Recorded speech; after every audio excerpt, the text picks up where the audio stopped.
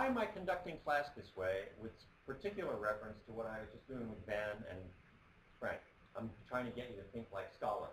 I could give you examples in class and I could work through with examples in class and you would go home and memorize them and think that you were behaving like a scholar.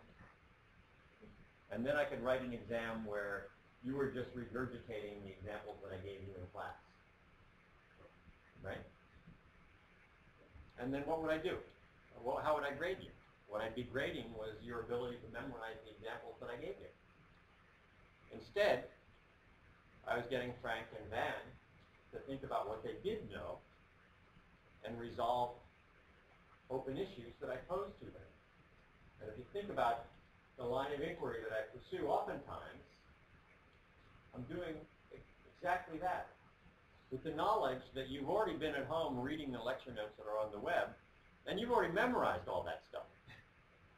Question is whether or not you can use the body of knowledge that you've learned to resolve open questions, or questions that might arise uh, had you spent less time memorizing and more time thinking about what was going on and why it was done that way. what I'm trying to do is get you to think like scholars, not just memorize a, a body of information. We have computers that can do that, right? Because, incidentally, what, uh, what important event was going on in Berlin a few weeks ago? It may still be going on. Speaking of computers and memorizing things and outthinking people. Anybody play chess? Nobody plays chess? pretend to play chess with your kids until they start beating you, right? And then you give it up.